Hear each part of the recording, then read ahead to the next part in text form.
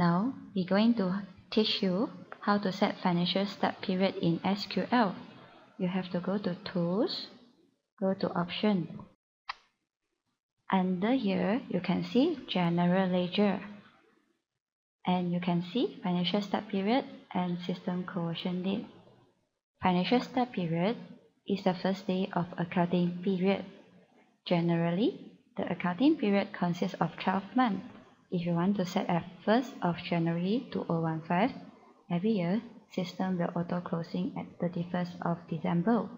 So, SQL do not need to do year-end. System conversion date is the first date to apply transaction is S in SQL.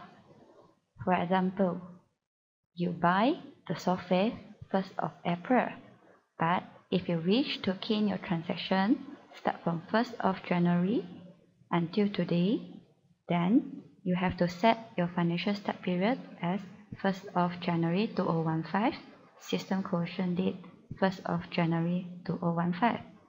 But if you want to start your transaction by bringing the opening as at 31st of March 2015, so your financial start period will be 1st of January, but then your system conversion date should be key in under 1st of April 2015.